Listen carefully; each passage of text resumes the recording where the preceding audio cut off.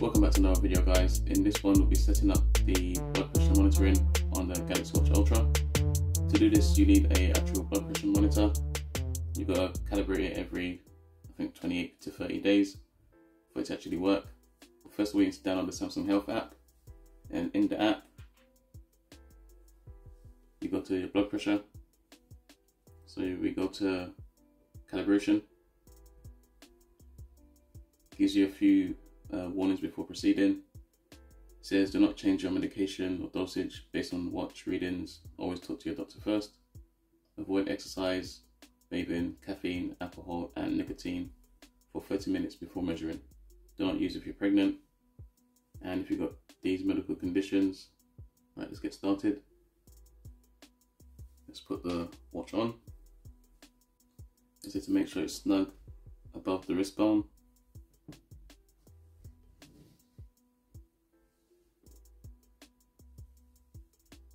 Go to next. Let's fit the blood pressure monitor on the opposite arm. Right, we've got it fitted, so press next. Start your blood pressure monitor.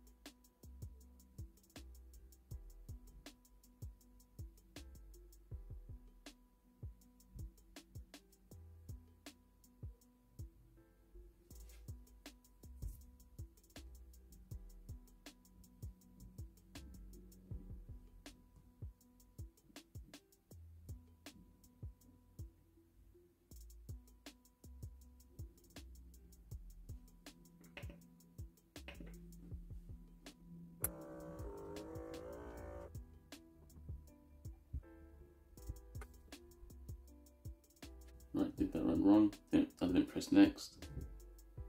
Let's do that again.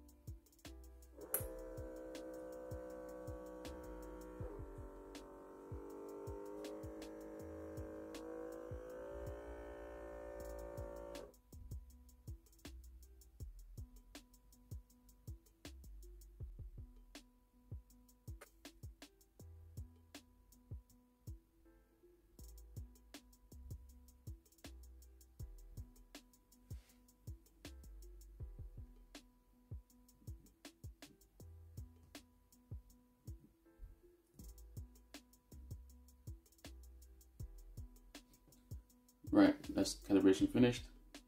It says now you can take blood pressure measurements on your watch. Wear the watch on the same wrist as one during calibration. Press OK. And that's all set up now. What I've noticed before, because I did tried to do a video beforehand on the Watch Ultra for the blood pressure. Um, when moving around, talking a lot, that does affect your blood pressure. I was getting like say 128s, 130s, and also make sure that the other arm is flat on the table. So I've got two tables here, you can only see one. So my other hand is flat on the other table, so that will give you a really good reading. I won't solely use this watch for blood pressure monitoring. You definitely need a monitor to actually get a proper reading. won't rely on the watch itself, but it's there. readings I would use the watch for is say like blood oxygen and heart rate, but for the blood pressure monitoring, I won't really trust it on its own. Right guys, if you've got any questions, leave them down in the comments. Don't forget to like, share and subscribe. Thanks for watching and I'll see you guys in the next one.